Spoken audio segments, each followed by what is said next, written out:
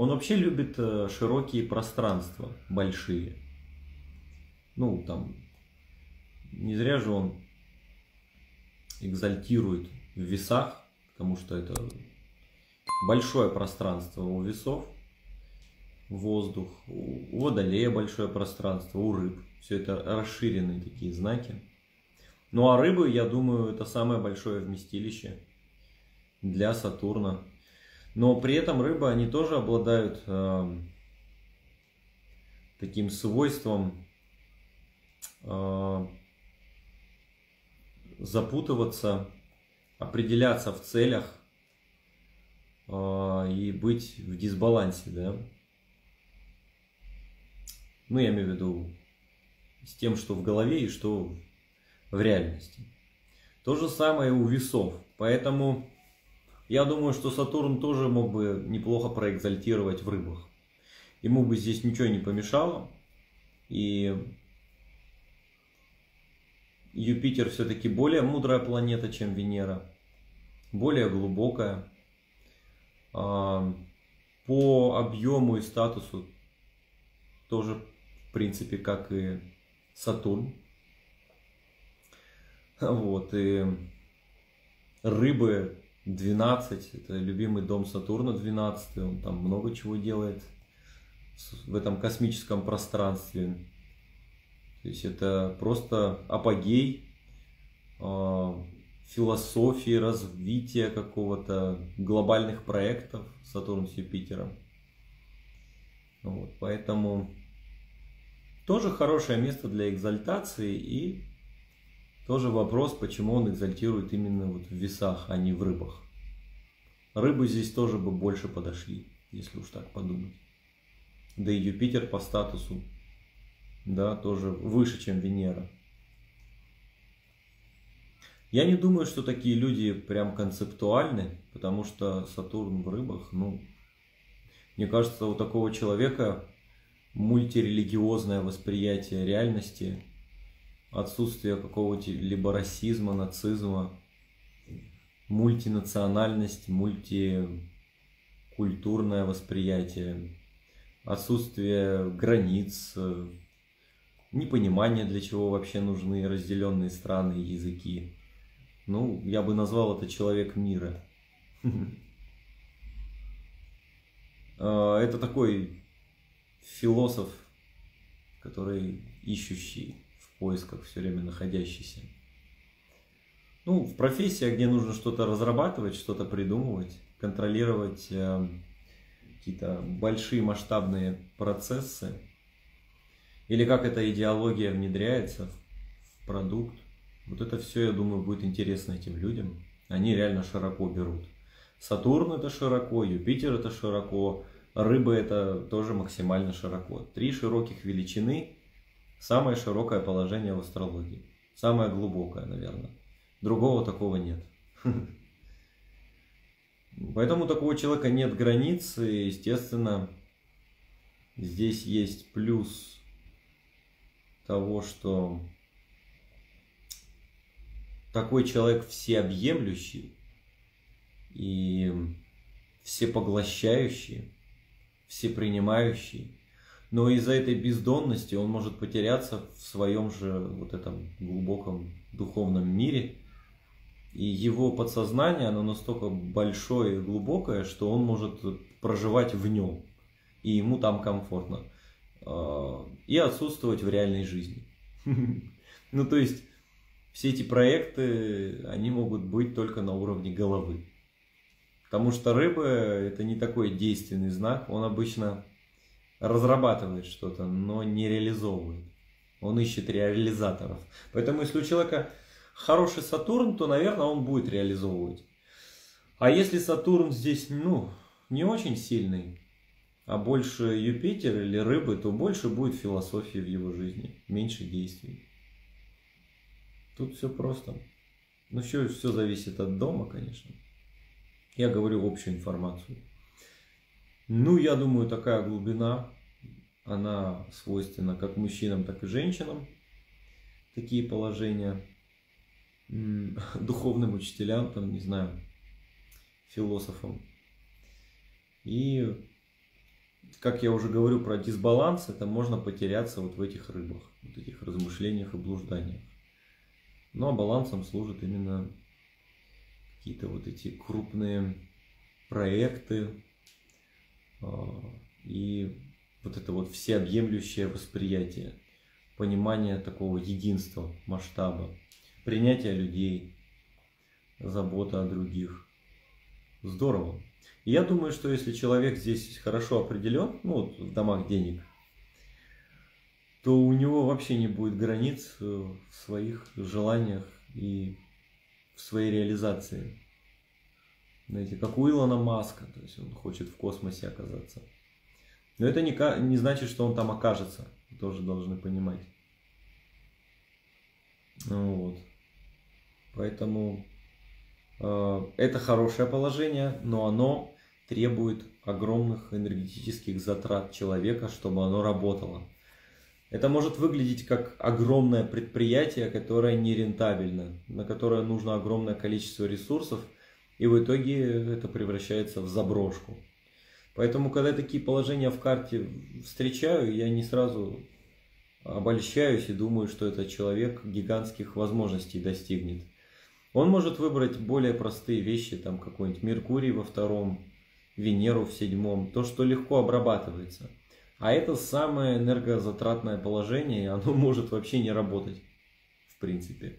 Оно может где-то проявляться там в каких-то практиках, ощущениях, мышлении, но не всегда оно будет идти в действие.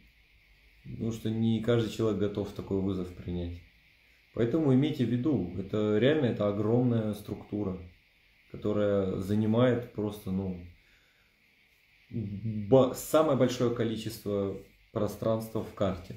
То есть даже если это стоит в одном доме, то эта энергия охватывает всю карту, вот это положение. Вот, поэтому человеку здесь, конечно, надо что-то такое вот прям ну, создать, придумать, но еще чтобы э, хватило ресурсов для реализации. Вот. Ну и э, в целом вот так выглядит эта позиция. Я уже говорил про стрельца, что мне он тоже больше нравится в плане экзальтации, если сравнивать с э, весами. А рыбы, если честно, мне нравится еще больше. Потому что вот эта размытость, ее Сатурн как бы собирает. Но объем рыб больше, чем у Стрельца, я имею в виду пространство. И возможность э, ну, вот, движений в разные стороны тоже выше. Поэтому это уникальное на самом деле положение. Ну что, здесь получается такая философская у нас тема, и ее очень сложно сузить. Ну, как и всегда, да, такие люди, хорошие организаторы, аудиторы, идеологи, люди, которые могут влиять на общество. Это вот эти все структуры, да, государственные, еще что-то. Ну вот, и здесь человек может развиваться легко с таким положением, когда есть масштаб, что бы там ни было. У кого есть это положение, напишите. И мы с вами пообщаемся, как раз раскроем это положение в обществе. Как этот Сатурн в рыбах выглядит. Ну вот. Напишите, у кого есть это соединение, вы уверены, я вас подключу. Пока открою. Ну, ребят, я сейчас по домам не смотрю. Чтобы смотреть положение по домам, это надо знать все нюансы. Какими домами управляет Сатурн, какими домами управляет Юпитер, какие аспекты у вас на дом. Поэтому здесь нужно индивидуально это все рассматривать. А пока давайте посмотрим вот именно общее назначение, да, чтобы разобраться. Напишите. Напишите, у кого Сатурн в рыбах. Да, не стесняйтесь. Неужели у нас так мало людей с таким положением? Но вообще, конечно, я не так часто такое положение встречаю. Но надеюсь, что нам повезет. Так, пока у нас затишье. Сатурн в рыбах. Вот это да. Надо же, сколько у меня сейчас было эфиров, впервые вижу такую тишину. Хорошо, я тогда раскрою его без беседы. Такое у нас иногда, изредка бывает. Ну, видать, 12 дом, да, свою атмосферу какую-то создает.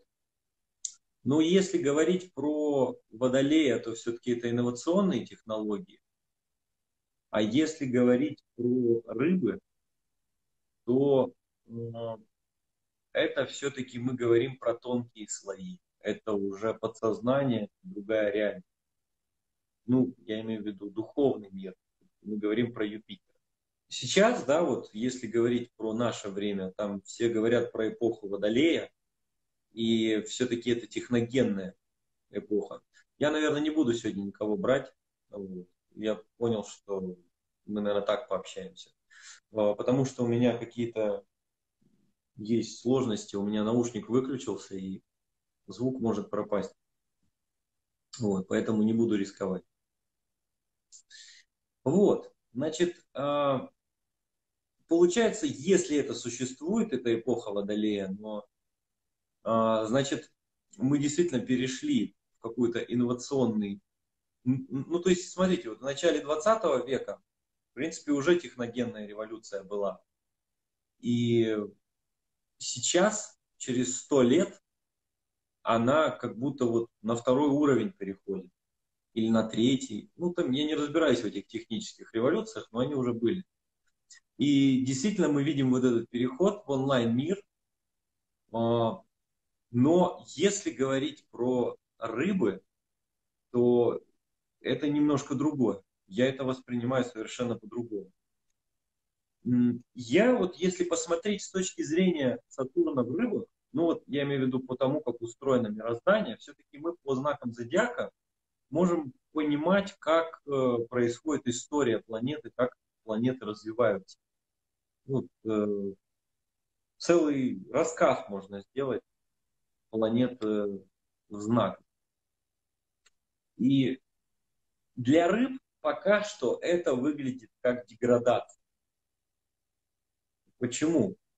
Потому что рыбы это совершенно другой вид развития. Ну, то есть, смотрите, мы, получается, строим ракеты, чтобы достичь других планет. Да? Это, ну вот с точки зрения, я думаю, других цивилизаций, выглядит очень смешно, что мы там что-то запускаем, там, там что-то отваливается, эта ракета там с горем пополам долетает до, до какой-то спутника или планеты в один конец, потому что там топливо, пока она там доберется, ну, до Луны мы еще долетаем, до Марса там пока что я не слышал, чтобы кто-то долетал из людей. В основном туда спутники какие-то долетают. То есть мы еле-еле как добираемся до планет. И уровень технической э, революции, ну, у нас, конечно, произошел, да, он выше стал. Но при этом, если уж говорить про Сатурн в рыбах, в принципе-то мы можем оказаться на любой из планет, сидя дома. То есть э, я уже говорю про астральные путешествия. И в принципе во многих э, источниках описывается то, как э, мудрецы посещали другие планеты. Но они это делали в медитации, их астральное тело могло э, туда слетать и посмотреть в считанные секунды. И не нужно было строить никакие ракеты. С одной стороны, техническая революция была на нуле, с другой стороны, люди делали это просто каким-то уникальным способом. Вот. То есть вот такая огромная разница. Многие ученые пишут, что на Марсе нет жизни или там на Венере, и они почему-то за жизнь воспринимают какие-то физические объекты, а, бактерии. И почему-то не учитывается то, что жизнь это, она может просто быть нашим невооруженным взглядом не видна.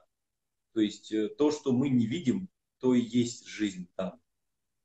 А так как мы воспринимаем все через глаза, через твердые вот эти все да, моменты, то это ну, очень глупо делать такие выводы, что ее нет. ну, как и говорить о том, что э, человеческое существо живет, потому что тело как бы типа работает, да? Но ведь когда м- в тело что-то входит и что-то выходит, тело же, когда человек умирает, оно становится безжизненным, и там внутри есть какая-то энергоемкость, которая им управляет. Получается, само тело, оно по сути безжизненно. В нем нет жизни. Это скафандр ну, для души. И как только душа покидает вот эту оболочку, скафандр, то тело умирает. Но тело нельзя считать э, как бы основой жизни. И получается, что Сатурн в рыбах – это понимание того, что энергия первична, да, а не материя. Понимание того, что можно достичь любой точки Вселенной без всяких ракет, там ракетоносителей. В принципе, если это развивать, можно понимать, что чувствует к тебе другой человек.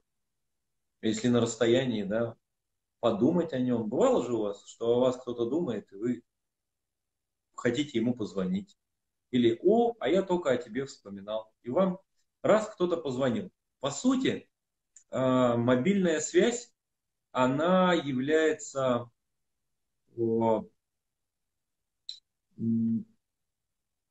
костылем для нашего развития. И чем больше мы усиливаем техническую область, тем дальше мы становимся от своей природы.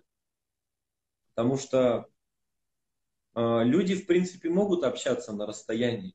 Просто никому не придет в голову вот так экспериментировать.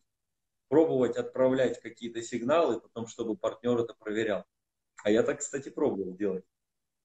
И когда я ездил вот в Индию, сколько лет в Ашрам, а, там люди телефонами мало пользуются, потому что ты на курсе, и все как бы ну, рядом. То есть ты всегда можешь с кем-то пересечься без телефонной связи. А, и ты еще находишься в молчании. Ну, много-много дней. И в итоге, когда ты изолируешь себя от телефона, интернета, находишься в молчании, и у тебя нет возможности выражать себя через речь, то ты начинаешь понимать других на каком-то другом уровне потому как они двигаются. Ты даже видишь, э, что человек думает, что он чувствует. У тебя из-за того, что ты в молчании, ты, у тебя другие органы чувств развиваются. Так вот, рыбы – это больше шестое чувство. Это когда человек выходит за пределы вот этих органов чувств. И э, здесь ты, конечно, начинаешь воспринимать мир по-другому. А когда есть вот эти костыли, как компьютер, телефон, навигатор, без которого мы не можем добраться ни в одну точку. Да, раньше же люди без этого жили, у них интуиция была намного выше. Сейчас попробуйте какого-нибудь человека из Москвы или из Нью-Йорка, отправьте его в лес. Он умрет там. Он там не выживет. Он не понимает, как устроен лес, как ориентироваться по звездам, ну, у меня, например, на Алтае была такая фишка, что мы э, с семьей, со всей, ездили за грибами. И мы расходились в разные стороны. Э, и чаще всего каждый раз мы теряли дорогу обратно к машине. Мы очень доверяли нашему деду, который всегда знал, где она находится. И когда мы разделялись, я, например, был с бабушкой, у меня сестренка там двоюродная была, с мамой со своей, моя мама там с дядей, вот так по двое. У нас был такой э, конкурс, кто больше соберет белых грибов. То мы либо сами интуитивно возвращались к машине, просто видя да, ландшафт и смотря на небо, либо, если мы терялись, то мы останавливались на месте и ждали, когда дед побибикает в машину. И он всегда бибикал, и не было такого случая, чтобы мы вот не услышали сигнал. потому что он хорошо ориентировался в лесах, и даже если мы терялись, мы сами могли найтись. Поэтому, а, когда я нахожусь в лесу, я вижу сразу, в какую сторону мох растет, куда деревья наклонены, да, какой э, я, ну, на небе, там, да, если есть э, какие-то, где солнце было. А сейчас человека отправь, э, все, ему конец, он там двух дней не проживет. А, в этом-то и проблема, что изначально здесь все-таки была природа на этой планете. И если, как сказать, мы умрем, мы уйдем с этой планеты, жизнь здесь не прекратится. Наоборот, без нас жизнь будет развиваться еще лучше. И если уж э, сравнивать так грубо, то мы похожи на раковую клетку, а не на ту, которая развивает. Потому что все океаны, моря, озера, они все сдержаны, да, вот этими всеми настройками. И если сейчас мы уйдем, например, даже из городов, то природа, она, ну, вы же видели, да, вот где заброшенный дом. Там огромное количество зарослей, там деревья, растения, все цветет. А, растения захватят эту территорию и снова поглотят планету. И они ну, являются реальными жителями этой планеты, а не мы. Мы всегда тут являлись гостями и будем ими. И я думаю, что мы жили на разных планетах, но мы не являемся а, основой жизни, потому что без нас жизнь будет и так процветать. И мы совершенно про это забыли. И если мы теряем контакт с природой, то мы теряем контакт с Землей. С, если мы не понимаем основных жителей этой планеты, то у нас практически нет шанса выйти на другой уровень и развиться уже с точки зрения, ну, знаете, осознанности, а, вот эти вот, ну, какие там могут быть дальние миры, какие-то ну, если мы не понимаем сами саму природу, не чувствуем, а, в какой эмоции находится цветок или дерево, не прислушиваемся к тому, принимает нас это место или нет, в которое мы приехали на отдых. Ведь э, оно всегда дает множество разных знаков, это место. Конечно, эта революция техническая, она хороша, она развивает э, нас, но с другой стороны у нас все больше и больше происходит деградация, э, где мы друг друга не слышим. И придумываем огромное количество костылей, чтобы общаться с друг другом. Через смс, там, телефон, какие-то картинки. Сейчас очень много вот этих э, эмодзи, которые заменяют да, эмоции. И все. То есть, получается, какая-то доля мозга, нейроны, которые отвечали за понимание другого человека, через наблюдение за ним, они просто перестают работать. Вы перестаете смотреть на язык жестов человека. Вы просто смотрите на то, что он написал или сказал. А что внутри него, мы уже не слышим, не понимаем. Вот в этом и есть э, основная проблема. Поэтому до Сатурна в рыбах, в высшем понимании этого слова, нам очень далеко мы очень-очень сильно отклонились от курса. И, естественно, иногда спасает какое-то чувство единства, когда мы чувствуем, что мы а, развивающееся население, которое является единым. И сейчас а, объединительным фактором служит коронавирус. И действительно мы понимаем, что мы едины в этой проблеме. До этого были войны. Но если и коронавирус не изменит сознание людей, то будут другие вещи, которые будут нас объединять, что, и где мы можем ну, быть в одном чем-то, да, с друг другом. И это может быть какая-нибудь комета или еще что, что угодно. Но, видать, разделенность зашла слишком далеко. Какие-то границы, раз такие происходят события. Поэтому чувство единства и чувство принятия – это тоже Сатурн в рыбах. А чтобы возникло принятие, нужно колоссальное количество энергии. А где мы можем брать энергию? А у нас их всего два источника, где мы ее можем брать. Мы можем брать энергию от других людей, а, обмениваясь с ними. А второй источник энергии – это природа. Это солнце, луна, деревья, вода, водопады, озера. И если на вас светит солнце, это не значит, что вы умеете брать от него энергию. И луна. Многие древние э, культуры создавали целые техники, практики, чтобы человек мог заряжаться от Луны. В принципе, в Индии нас тоже этому учили. А так она просто светит, и человек не пользуется этой энергией. Так же, как и вода, водопады, озера.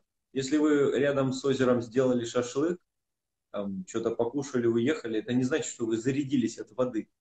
То есть нужно остановить мысли, чтобы это произошло. Когда вы купаетесь, либо погружаетесь в воду, поэтому нужно с большим уважением подойти. Иначе вы не получите эту энергию, обмена не будет. Так же, как и лес. То есть к этой энергии нужно подключиться. Но если вы берете телефон в лес, ну это хорошо, да, чтобы не потеряться. Но если вы и там продолжаете разговаривать, либо сидеть в нем, то это как раз та штука, которая не даст вам получить этот опыт. Поэтому, если вы пользуетесь о, только энергией людей, а она изначально не является чистой, она загрязнена разными эмоциями, разными э, мыслями, концепциями. По сути, это энергия, ну, это знаете, как вот в машину заливаешь какое-нибудь плохое такое разбавленное топливо. Двигатель работает от него не очень. И вот это энергия людей сейчас. А вот когда мы получаем энергию от природы, вот она чистая.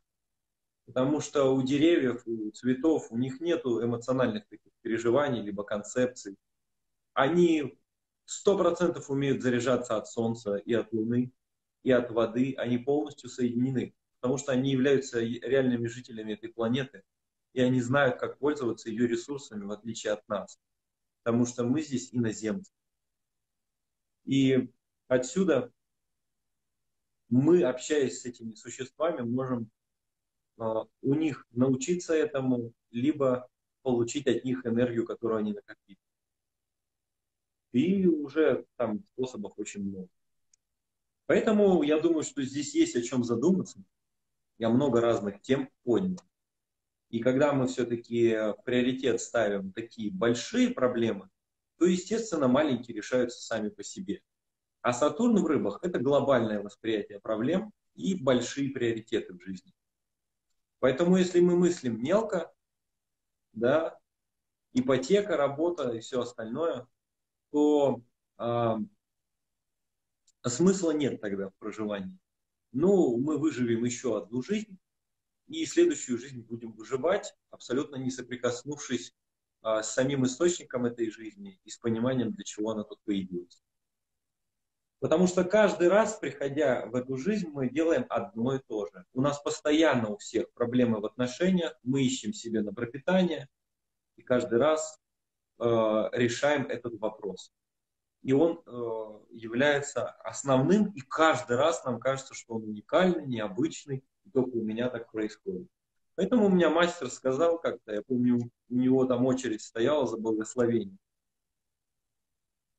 И я зашел туда и с учителями, он такой говорит, ну неужели и вы пришли просить благословения? Я говорю, да нет, у меня там есть одна идея, я хотел бы с тобой обсудить. Он такой, ну слава Богу. Там, и он это специально сказал при всех. Просто ко мне приходят для того, чтобы попросить, чтобы я их благословил, чтобы все было хорошо в семье, в финансах. И эти люди не помнят, что они уже приходят ко мне много тысяч лет с одним и тем же вопросом. И эти вопросы уже надоели всем им.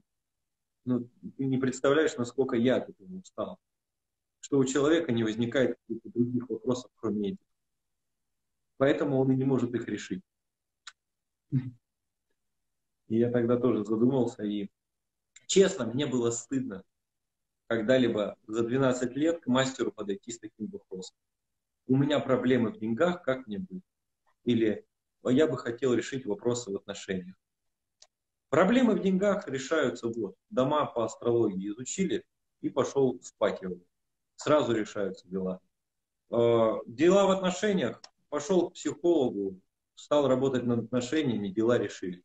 Но занимать время просветленного человека ради такой фигни, я думаю, что хочется как-то это потратить на какой-то глубокий вопрос, на который точно ты не можешь найти ответ, тебе поможет в этом просветленный. Но люди из-за своего низкого сознания используют просветленных, ну, тоже, да, в своих целях.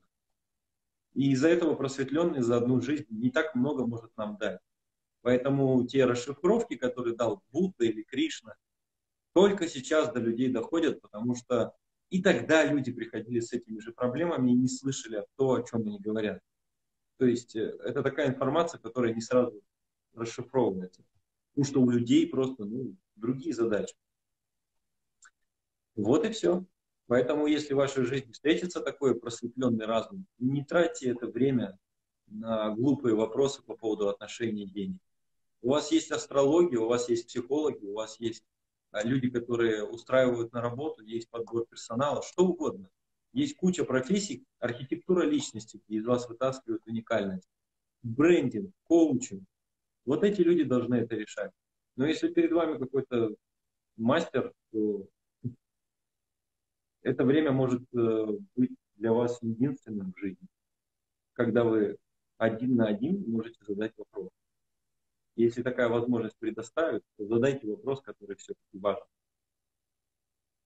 Вот. Это вот мне, вам именно послание такое. Да. Так что всем спасибо. И у нас э, дальше будут эфиры Раху Кету. 12 знаков Будет интересно. Да, всем до новых встреч.